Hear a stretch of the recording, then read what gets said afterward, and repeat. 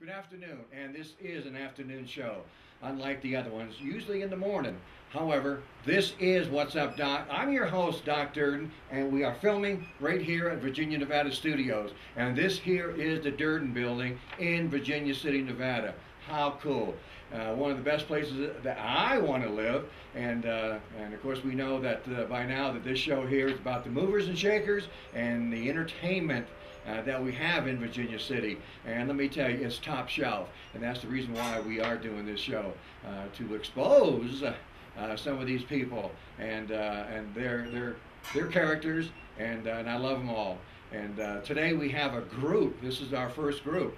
And, and, and these boys are very significant uh, no matter where they go. Not just uh, Virginia City, they get hired out to do uh, uh shows uh, just about anywhere and everywhere.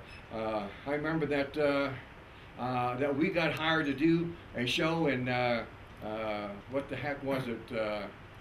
it was in Idaho, Glen Idaho Falls, the museum. What it was it? Yeah, Idaho Falls. Idaho museum. Falls. I'm telling you, rock star treatment. We had a limousine, we had suites, we had, and uh, and and it just gives you an idea that uh, uh, there there's a lot of value right here, and you're going to see it, and you're going to be talking to them. Uh, so uh, without further ado, I, I, I, do have to introduce you to uh, my friends, and and and I, am telling you, they're all my friends, and we're going to start right here with with Doc Holliday.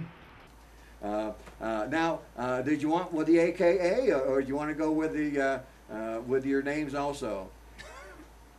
Excuse me, Doc. That's all right. This, That's a rumor, by the way. Yeah. All right. Now, I, see, I go a AKA. I like AKAs. It's up to you guys. That's how you guys are known.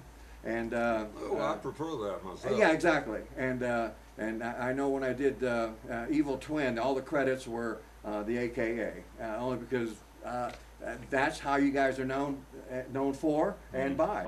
We're going to go with the AKA, and and there's no better Doc Holliday, uh, as far as I'm concerned, in this. Um, uh, in, in, this world, and and uh, it uh, he's that gentleman sitting right here. He's been my friend for 13 years. I'm happy to say. Uh, welcome aboard. I, am glad to have you here. You, happy to have you Thank here you. once you. again. And the next fellow that's sitting next to him, Bat Masterson. Good looking guy here, I'm telling you. Uh, I, I, we've been friends for, uh, not only we've been friends for a while, he's also a sponsor for uh, Virginia Nevada Studios. Uh, he supplied us with all the glass, and that's a very cool thing to do. So, uh, being one of the sponsors and and uh, and certainly one part of the entertainment around town. And again, I've, I've I've never met a better performer for Bat Masterson than Bat Masterson himself. Thank you so much for being here. I appreciate that. And uh, then we have Virgil. Now we've been friends. We go back a long time also. Uh, I've been up here for 13 years, and I've known Virgil for just about that whole time. Uh, he uh, also, uh, I know he used to live here in Virginia City. I, I, do you still live here in Virginia City? I, I know you're talking about Gardnerville. Yeah, yeah. I live in Gardnerville. Gardnerville right now, and uh, another beautiful town. Uh, but uh, he, no, he, he, he lived uh, in Virginia City here for quite a while, him and his lovely wife. And uh, I'm not going to reach over, but uh, welcome to What's Up, Doc? It's wonderful to have you here. Believe me. Believe. Yes, thank you. Yeah. You. And then we have Saber River. he he protects these guys. He's the only cowboy in the bunch right here. But uh, he is a cowboy, there's no doubt about it, and he uh, he protects these boys right here. Not that they need protecting, but uh, uh you, you, take a look at him, he's a pretty rough guy. Man, rough. Yes. He's a scallywag the first degree. you heard it here first. Scallywag in the first degree, and that's uh, uh, Saber Rivers right here. So uh, uh welcome uh, to the show. Thank you very Glad much. to have you here. Absolutely. What a beautiful look you have. Uh, I shouldn't say beautiful, maybe handsome look you you have. Anyway, y'all have a great look. It's just that you know, it's just second to none. And talking about that. Me and Doc here, we go back uh, about 13 years, and uh, I met him in Stockton, uh, California area at the Chicken Kitchen, and that was uh, that was uh, quite an area. They had uh, um, they had a whole whole Wild West town there. It was it was interesting, and we had an event there. I didn't know him at the time, and he didn't know me, and. Um, and at the time, uh, uh, my uh, uh, my lovely wife uh, uh, was talking to this gentleman. She couldn't wait to come see me. So you got to meet this guy. Okay, and so I went. that's what we did. And so he stayed in character, and and let me tell you, right then and there, I, I knew I I had to get him somehow on my team. Uh, and uh, but he needed some help to do uh, uh, a skit in Friends of Bodie, Bodie, California, and that was uh, 13 years ago. The reason why I'm telling you this because then after the, after what we did there in Bodie, he invited me to Virginia City, and that's how I become a resident in Virginia City. However, during that event, during that event uh, uh, in uh, Stockton, California, we met, we talked, we kind of had a mutual respect for one another immediately, and he told me the show that he was going to do, and and that he needed a little bit of a help on that as far as bodies, and I, I I can do that. I can supply you the bodies, so that's what we did. We had a reenactment at the 8,500 foot level, and that was Hawaii Mine, and I can never remember the Down second main line. Street, down the main street there in Bodie. We also had uh, uh, we had we had reenactment on Main Street too, but uh, where we had the shootout, we had about 200 rounds that were fired, and, and that was uh, uh, we had a narrator, so we narrated everything that was going to happen, and then uh, we executed, and it turned out absolutely uh, the best. And then after that performance there, uh, we went down and uh, they did. And when I say they, I wasn't part of that because I was doing a show in the church. I was doing hell, fire, and brimstone in the church. Uh, but they were raising hell on, uh, on uh, downtown Bodie.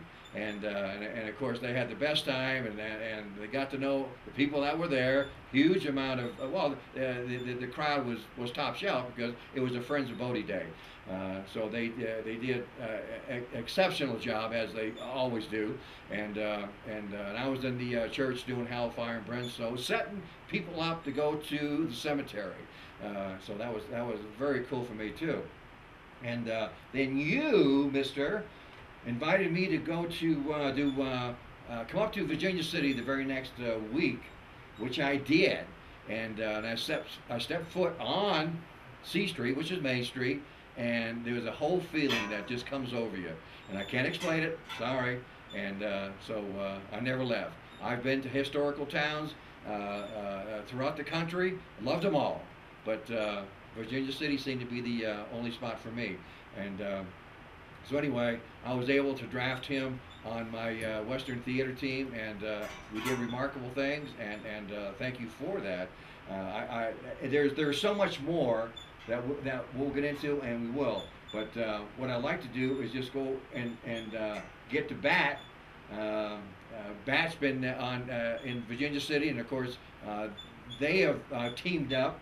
Uh, now that we're 13 years in the future, uh, uh, now uh, uh, Doc is, is teamed up with Bat, and Bat's teamed up with Virgil, and then we have also Wyatt, which uh, couldn't make it today, and now we have uh, uh, Eric here. Uh, excuse me, we have uh, uh, Saber, Saber River uh, here also that. Uh, that's uh, been picked up along the way too, which complements the team uh, in a little different way.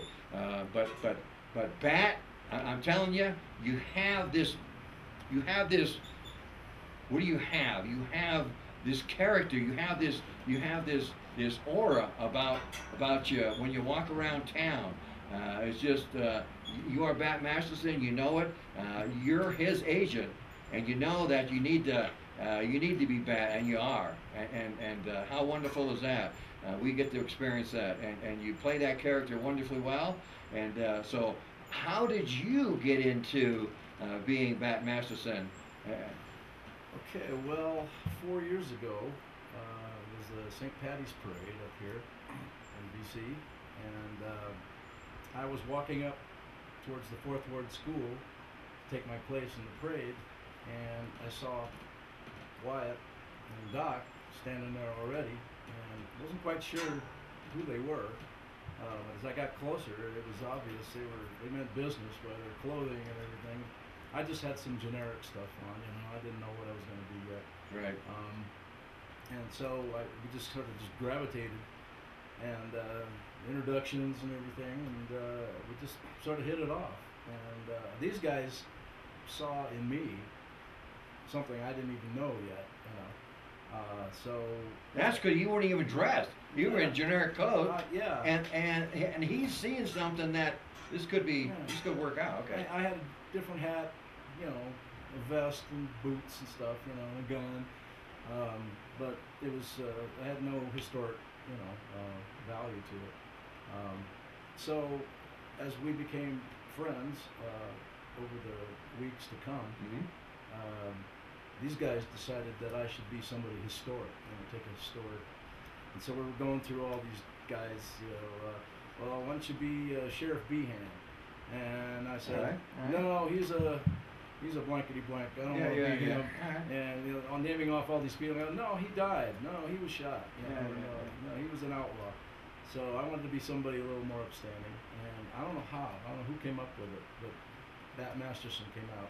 Came out and okay. We were trying to tie it all into the Peace Commission, which we were putting together with the three Earps. Yes. A Holliday, and uh, Bat Masterson showed up.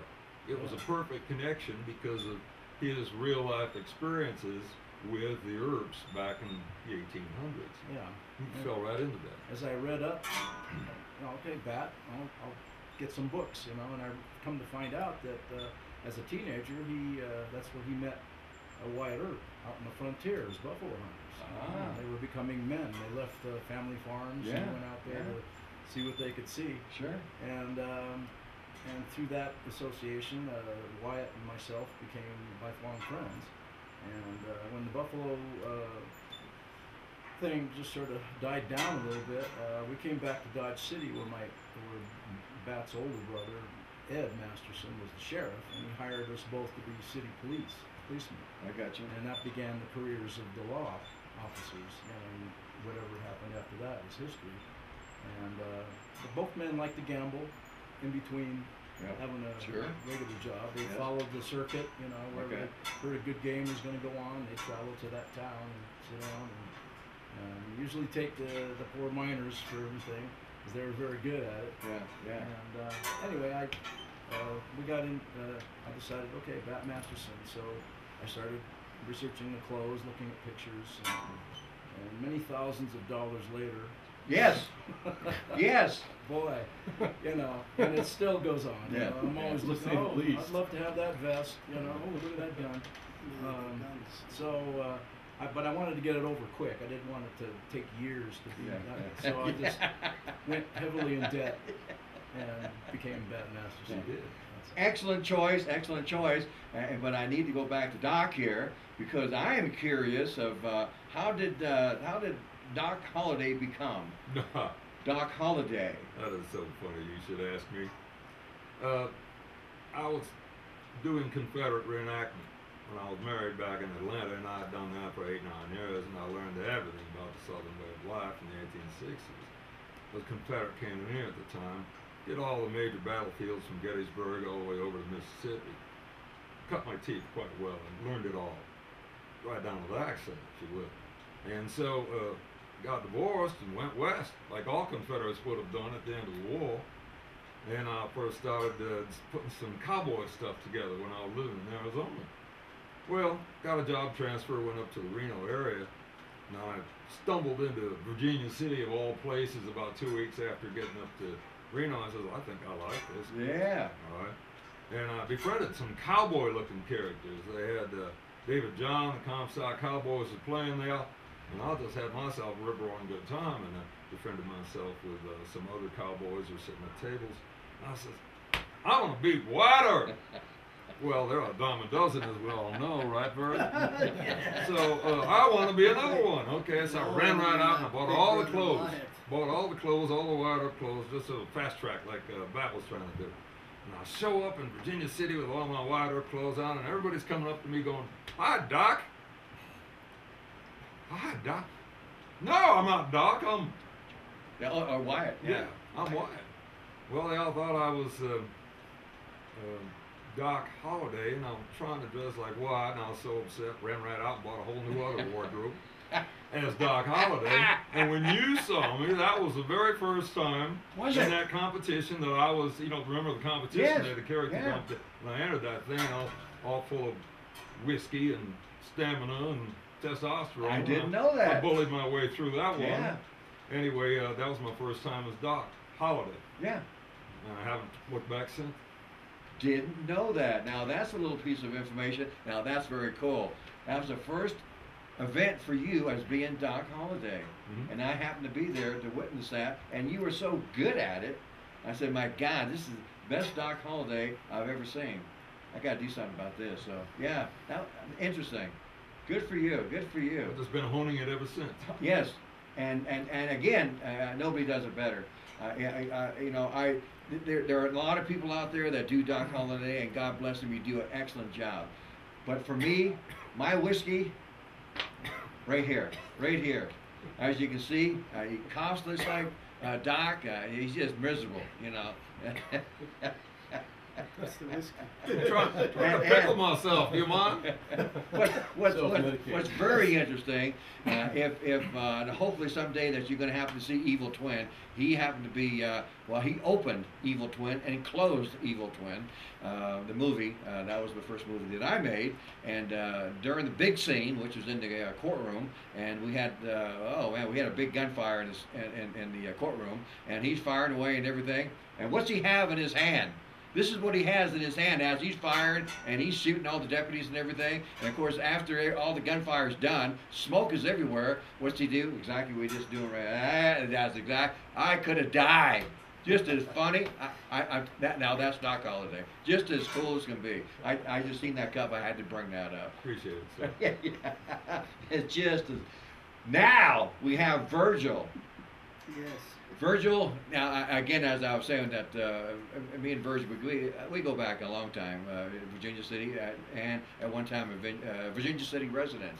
And uh, so tell me, how did you become Virgil Earp?